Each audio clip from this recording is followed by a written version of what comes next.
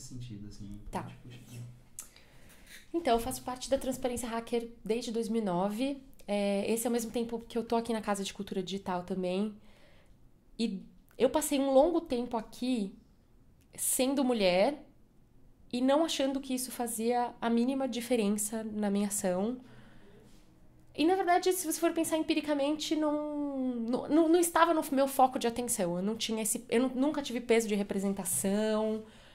Eu não pensava nisso. A primeira vez que eu comecei a pensar nisso foi porque a gente fez uma conversa Mulher na Cultura Digital há uns dois anos, em 2010, no dia 8 de março, aqui na Casa de Cultura. E essa conversa abriu muito a minha cabeça em relação a muitas coisas. Assim.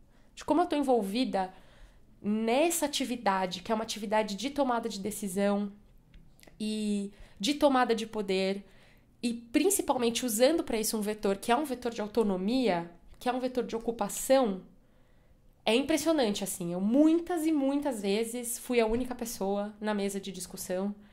É mais fácil você não ser a única pessoa na mesa de discussão quando ela é uma mesa institucional, mais difícil quando ela é uma mesa de bar. Tô querendo dizer assim, muitas vezes eu tive numa mesa de bar conversando com 10 homens sobre coisas importantes da política, que são discussões que eu gostaria que mais mulheres pudessem fazer. E qualquer o discurso de qualquer movimento social, porque eu acho que a forma que os movimentos sociais se organizavam até hoje é, não, é algo com a qual eu posso me identificar. Então, essa.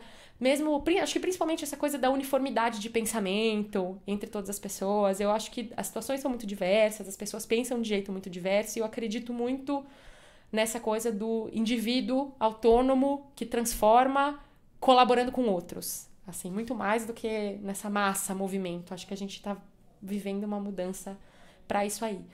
Eu, eu, eu acho que o digital possibilita que a gente tenha um espaço de ação quase como se todo mundo partisse do zero.